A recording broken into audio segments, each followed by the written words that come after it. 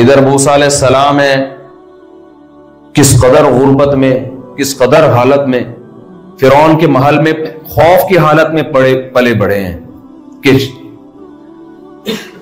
ابھی قتل کر سکتا ہے، کل قتل، کیونکہ بنی اسرائیل کے تھے نا، فرعون کو پتا چل گیا تھا، میں نے محل میں جس بچے کو، پال پوس کے بڑا کیا ہے، وہ ہماری قوم کا نہیں ہے، بلکہ وہ کس کا ہے؟ وہ بنی اسرائیل کا ہے۔ ہر وقت ڈر تھا کہ قتل کر دیں۔ اور اسی اسنا میں موسا علیہ السلام سے کام کیا ہو گیا، غلطی سے بندہ مر گیا۔ مشہور واقعہ ہے موسا علیہ السلام بنی اسرائیل کا ایک شخص جو تھا، وہ فرعونی سے لڑ رہا تھا۔ موسا علیہ السلام نے فرعونی کو تھپڑ مارنا، مارا اس نیت سے کہ لڑائی چھڑواؤں میں۔ پاکستان میں تو آپ کو بہت تجربہ ہوگا نا، یہاں تو پولیس آ کے ایک گھنٹہ تمیز سے اول، آخر، گیارہ گیارہ دفعہ درو شریف پڑتی ہے، پھر وظائف پڑتی ہے، اس کے بعد سمجھاتی ہے۔ پاکستان میں اتنا ٹائم لوگوں کے پاس نہیں۔ پاکستان میں کوئی کام کر رہے ہیں دو تھپڑ لگاؤ، انسان کا بچہ بن کے کر دے گا۔ اگر سمجھانے بیٹھ گئے تو قیامت تک سمجھاتے رہو گے۔ سمجھ میں بات نہیں ہے۔ یا پولیس یہ کرتی آتی ہے، جو رپورٹ ہے، جو دیکھ رہے ہیں۔ سمجھائے گی، محبت سے دونوں کو تمیز سے رہو بھائی، تم جاپان میں آؤ، تم چھانگا مانگا میں یا چیچا وطنی میں یا کراچی، لاہور میں تھوڑی ہو تم اس وقت۔ تو موسا علیہ السلاط والسلام نے ایک تھپڑ لگایا تھا قبطی کو لڑائی چھڑوانے کے لیے۔ وہ اتنا پاورفل تھپڑ تھا تھپڑ تھا، پیغمبروں میں جسمانی طاقت بہت ہوتی ہے، وہ مری گیا۔ ایک اور ٹینشن حضرت موسا علیہ السلام کے سر پہ، کیس بن گیا قتل کا۔ تو وہاں سے نکلے، مدین گئے اور مدین میں اکیلے وہاں جا کے بکریاں چرائی ہیں دس سال۔ تو آپ کیا سمجھتے ہیں؟ اور بکریاں بھی اپنی نہیں تھی ملازمت پہ، کسی اور کی بکریاں چرائیں، اجرت پہ، تنخواہ پہ۔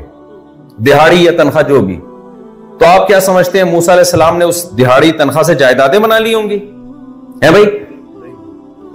لیکن موسا علیہ السلام کو بھی علم نہیں تھا کہ اللہ مجھے کتنا بڑا مقام دینے والا ہے۔ اور مقابلے میں ہے فرعون، جس کے پاس مصر جیسے تہذیب یافتہ کنٹری کی حکومت، بہت مہذب ملک سمجھا جاتا تھا مصر اس وقت۔ آج تک مصر کی تہذیب زندہ ہے، قائم ہے۔ اور آپ کو پتا ہے میرے ایک ڈینٹسٹ دوست ہیں، انہوں نے مجھے بتایا کہ یہ جو مصر میں لاشیں نکلی ہیں نا، جو جو باڈیز ہیں مصر مصریوں کی، چار چار ہزار سال پرانی، ان کے دانتوں میں ڈاکٹروں نے جب تحقیق کی ہے تو پتا چلا یہ لوگ روٹ کنال کیا کرتے تھے، دانت اگر خراب ہو جائے۔ روٹ کنال کتنا مشکل کام ہے۔ ان کے پاس ایسے ڈاکٹر تھے جو دانت خراب ہو جائے تو کیا کریں گے؟ جڑوں میں سونے کی تاریں گھسی ہوئی ہوتی تھی یعنی دانت اگر خراب ہو جاتا۔ تو یہ میڈیکل سائنس نے بھی بڑی ترقی کی تھی۔ اتنے فارغ نہیں تھے جتنے ہم لوگ سمجھتے ہیں۔ ورنہ بھائی دانت نکال کے لگا دینا، روٹ کنال کر کے آپ کو اور جس کو تجربہ ہے، مجھے تو تجربہ ہے نا۔ کس قدر مشکل کام ہے یہ۔ تو موسا علیہ السلاۃ والسلام مسکین، دس سال بکریاں چرا کے واپس آ رہے ہیں۔ اللہ موسا علیہ السلام کو بھیج کس کے پاس رہا ہے؟ اس فرعون کے پاس جو ترقی کی انتہا کو پہنچا ہوا تھا۔ دولت، عزت، شہرت و فرعون ذل اوتاد جس کی سلطنت کے کھونٹے زمین میں گڑ چکے تھے۔ اتنی مضبوط ریاست تھی۔ لیکن کیا تھا؟ فرعون کے پاس جب یہ حکومت اور دولت آئی ہے، تو اس کی کھوپڑی اوپر کی، اس کی سیٹنگ کیا ہو گئی؟ آؤٹ اب وہ موسا علیہ السلام کی بات سننے کے لیے تیار نہیں۔ جب موسا علیہ السلام نے دعوت دی ہے نا، ہمیشہ غربت کے تانے دیتا تھا۔ ام انا خیر من هذا الذي هو مہین۔ لوگوں بتاؤ، میں بہتر ہوں یا یہ جو ایک غلام قوم میں پیدا ہوئے ہیں۔ هذه الانہار تجری من تحتی۔ یہ میرے محل میں نہریں بہتی ہیں۔ آج بڑے سے بڑے بنگلے میں کیا سوئمنگ پول بنا لے گا نا؟ نہریں اب بھی نہیں ہوتی۔ ہیں اس وقت فرعون کے پاس جو محل تھے، اس میں چشموں کا راستہ فرعون کے محل سے گزر کے جایا کرتا تھا۔ الانہار تجری من تحتی، یہ نہریں ہیں جو میرے محل میں سے بہتی ہیں۔ اور موسا کے پاس تو نہ سولے کا کنگن، نہ کچھ بھی نہیں ہے موسا کے پاس۔ ام انا خیرون، یہ اس بات کی دلال، دلیل ہے کہ موسا سے بہتر کون ہے؟ بولے نا یار، آپ لوگ تو بالکل چپ، بالکل ماحول ہی نہیں ہے۔ موسا سے بہتر کون ہے؟ میں ہوں۔ میری گاڑی، میرا بنگلہ، میری گھڑی آئی فون میری تنخواہ، بحریہ ٹاؤن۔ یہ ساری باتیں ہم سے پہلے فرعون یہ کر چکا یہ منجن بک چکا ہے بہت پہلے۔ موسا علیہ السلام کے پاس فخر کرنے کے لیے کوئی چیز پیش کرنے کی نہیں۔ ایک دفعہ بھی موسا علیہ السلام نے نہیں کہا کہ فرعون تیری گاڑی تو میری گاڑی دے۔ کہیں بھی نہیں ہے۔ تھی نہیں، کچھ سواری نہیں۔ اس زمانے کی گاڑی جو بھی۔ گدا ہی تھا اس زمانے میں گھوڑا ہوگا اونٹ ہوگا شاہی سواری ہوگی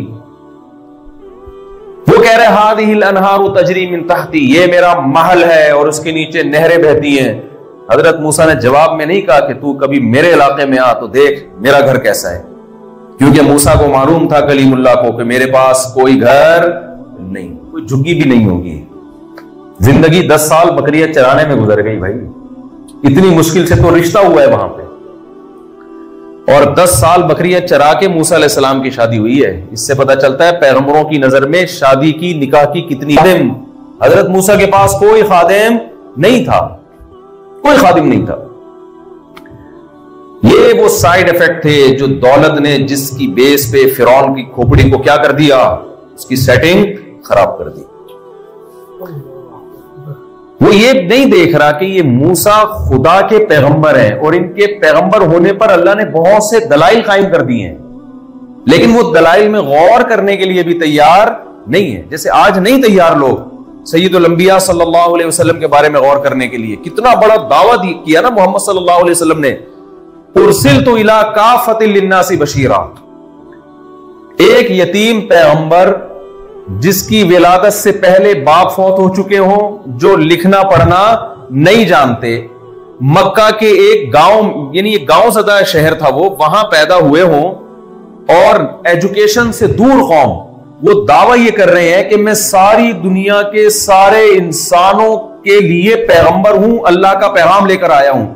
اور ساری دنیا کے سارے انسان جب تک مجھے فالو نہیں کریں گے، وہ کامیاب تو کہ جب تک مجھے فالو نہیں کرو گے، آپ کامیاب نہیں ہو سکتے۔ اور دعویٰ کہاں کیا جا رہا ہے؟ ایک ایسی سرزمین میں جہاں چار آدمی بھی آپ پر ایمان نہیں لے کر آئے۔ حضرت حکیم اختر صاحب رحمہ اللہ تعالیٰ بڑے اللہ والے بزرگ گزرے بڑی پیاری بات کیا کرتے تھے کہ علوم نبوت یہ دلیل نبوت ہے۔ علوم نبوت جو ہے نا، نبی کے جو علوم ہے نا، نبی کی جو باتیں ہیں، یہی آپ کے نبی ہونے کی سب سے بڑی دلیل۔ اتنا کانفیڈینس ہو نہیں سکتا کسی جھوٹے پیغمبر میں ہو نہیں سکتا۔ ناممکن ہے۔ اس وقت یہ دعویٰ کیا جا رہا ہے کہ جب کوئی سننے کے لیے تیار نہیں اور آپ کہہ رہے تم مکہ تو دور کی بات۔ قیامت تک آنے والے تمام انسانوں کے کے لیے کالے گورے مرد عورت غلام مالک جاپان والے فرانس والے امریکہ والے سویڈن والے ڈنمارک والے پاکستان والے انڈیا والے بنگلہ دیش والے ساری دنیا کے سارے انسانوں کی نجات صرف اور صرف اس پیغام میں ہے جو میں لے کر آیا ہوں۔ آپ بتاؤ، اس سے بڑا دعویٰ دنیا میں کسی نے کیا ہوگا؟ کوئی اسکالر یہ دعویٰ کر سکتا ہے بہت ہی پڑھا لکھا سائنسدان ہو؟ یہ دعویٰ تو نہ آئنسٹائن نے کیا، نہ نیوٹن نے کیا۔ کوئی دنیا میں ایسا فلاسفر پروفیسر نہیں گزرا ہوگا جو اتنا بڑا دعویٰ ہاں وہی کرے گا جس کی دماغ کیا ہو جائے گا۔ پاگل گھوم رہے ہوتے ہیں نا، اوٹ پٹانگ باتیں کر رہے ہوتے ہیں، ہم تو کہتے ہیں ہنستے، ہم کہتے ہیں پاگل ہے بھائی، جانے دو اس کو۔ جیسے بڑے بڑے دعوے کرتے ہیں نا ہیروئن جی۔ ایک ہیروئن جی سے پوچھا نا کہ ہم نے سنا ہے کہ تم اپنے آپ کو یہ سمجھتے ہو کہ ہم چاند پہ پہنچ چکے ہیں، جب پیتے ہیں۔ تو تم یہ دعویٰ کرتے ہو کہ ہم کہاں ہیں؟ جب تم پیتے ہو تو پی کے تم یہ دعویٰ کرتے ہو کہ ہم زمین پہ نہیں ہیں، ہم کہاں ہیں؟ چاند پہ۔ چاند پہ تو نیل آرم اسٹرانگ گیا تھا نا۔ تو وہ تو کتنی محنت کے بعد گیا تھا نا چاند پہ۔ بہت اربوں خربوں روپے لگے تھے اور ٹریننگ تھی اور اس کی پڑھائی تھی، وغیرہ وغیرہ کے بعد پہنچا تھا نا وہ۔ تو ہمارے یہاں جو ہیروئن چی ہیں، ان کا یہ دعویٰ ہے کہ ہم ہیروئن پی کے کہاں پہنچ جاتے ہیں؟ ڈائریکٹ چاند۔ کسی ہیروئن چی سے پوچھا کہ سنا ہے کہ تم پینے کے بعد چاند پہ پہنچتے ہو؟ اس نے کہا، سنا کی کیا بات ہے؟ ابھی کہاں بیٹھ کے انٹرویو دے رہا ہوں میں؟ ابھی میں جو انٹرویو دے رہا ہوں، کہاں بیٹھ کے دے رہا ہوں؟ چاند پہ تو بیٹھا ہوں میں۔ تو اب دیکھو، آپ کو ہنسی آئی اس بات پہ، کیونکہ اتنا بڑا دعویٰ یا تو نیل آرم اسٹرانگ کر سکتا ہے یا کوئی ہیروئن کی کر سکتا ہے۔ کیا خیال ہے بھائی؟ بڑے بڑے دعوے یا تو کوئی بہت سمجھدار کرے گا جو سچا ہوگا، یا کوئی ایک نمبر کا جھوٹا ہوگا۔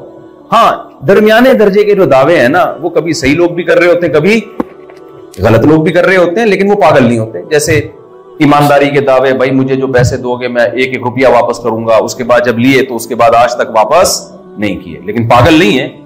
عقل مند ہے، لیکن چھوٹے چھوٹے۔ بڑے، بہت بڑے دعوے، بہت ہی بڑے دعوے۔ یا تو یہ وہ کر سکتا ہے جو واقعی سچ بول رہا ہو۔ کیونکہ اس کو پتا ہے کہ میرے دعوے پہ لوگ ہنسیں گے۔ یا وہ کر سکتا ہے جس کا اوپر کی کھوپڑی صحیح کام نہ کر رہی۔ اب یہاں ایک صاحب نے بتایا کہ میری بیوی جاپانی ہے۔ اور میں اس کو آپ کے بیان سمجھاتا ہوں، وہ بڑی ہستی ہے بیان میں، لیکن کچھ چیزوں کا ترجمہ اس کو سمجھانا بڑا مشکل ہوتا ہے۔ تو اس میں سے ایک لفظ ہے کھوپڑی۔ کہہ رہے جب میں کھوپڑی کا ترجمہ جیپنیز میں سر سے کرتا ہوں تو وہ بات بنتی نہیں ہے۔ کچھ اردو کے لفظ ہیں، وہ کسی زبان میں کوئی مائی کا لال اس کا ترجمہ، جیسے پنجابی میں کچھ گالیاں ایسی ہیں کہ ان کا ترجمہ کر کے گالی کا مقصد ہی ختم ہو جائے گا۔ یہاں کسی جاپانی سے پڑھا ہوا، کسی پنجابی بھائی کا، وہ کہتے ہیں اس نے اس کو کوئی والدہ اور سسٹر کی گالیاں دینا شروع کر دی۔ تو جاپانی نے اس کا ترجمہ پوچھا کہ کیا مطلب ہے؟ اس نے کہا بھائی، پھر جاپانی نے بولا، بھائی، غلطی میری ہے تو میری سسٹر کو برا بلا کیوں کہہ رہے ہو تم؟ اس کی سمجھ میں نہیں۔ آئی نہیں رہا کہہ رہے، میری سسٹر تو اپنی لائف کو انجوائے کر رہی ہے، اس کا اس کا تو کوئی لینا نہیں۔ اس کو بہت مشکل ہو گیا سنبھالنا جو ہے تو اتنے بڑے بڑے دعوے وہی شخص کر سکتا ہے جو یا تو سچا ہو یا اس کا دماغ کام نہ کر رہا ہو۔ تبھی نبی صلی اللہ علیہ وسلم جب یہ دعویٰ کیا، آپ صلی اللہ علیہ وسلم نے ارسل تو کافت للناس، ساری دنیا کے سارے انسانوں کی طرف اللہ نے مجھے میسنجر بنا کے بھیجا ہے۔ تو مشرقین مکہ نے کہا کہ مجنون ہیں، دیوانے ہیں۔ کسی نے کہا، شاعری، شاعروں میں مبالغہ بہت ہوتا ہے نا۔ شاعر لوگ، آپ کو پتہ ہے، ایک اکثر، سارے نہیں، اکثر پھیکو ہوتے ہیں۔ ایسے بڑے بڑے دعوے کر رہے ہوتے ہیں، چاند سے میں تمہارے لیے آسمان سے ستارے توڑ کے لے آؤں گا۔ پانچ روپے، پچاس روپے کا بیلنس ڈالنے کے پیسے محبوبہ کے لیے ان کے پاس نہیں ہوتے۔ باتیں کیا کریں گے؟ آسمان سے تمہارے لیے ستارے توڑ کے لاؤں گا۔ تو محبوبہ کہتی ہے، وہ متاثر ہو جاتی ہے محبوبہ۔ حالانکہ محبوبہ کو متاثر نہیں ہونا چاہیے، اس کو چاہیے تو پچاس روپے کا بیلنس ڈال دے، ستارے میں اس سے خود خرید لوں گا۔ بڑے بڑے دعوے۔ لیکن محمد صلی اللہ علیہ وسلم کو وہ کیا کہتے تھے؟ کبھی کہتے تھے دیوانے، کبھی کہتے تھے جادوگر ہیں۔ جادوگر کیوں کہتے تھے؟ کسی بھی دیوانے کو کوئی بھی سمجھدار آدمی فالو نہیں کرتا۔ کسی پاگل کے پیچھے آپ نے دیکھا کہ کچھ؟ ہمارے یہاں تو ایسے بہت ہیں الحمد ایسے پاگل ہیں جن کو بڑے بڑے سمجھدار لوگ فالو کر رہے ہیں۔ لیکن نارملی ایسا ہوتا نہیں ہے۔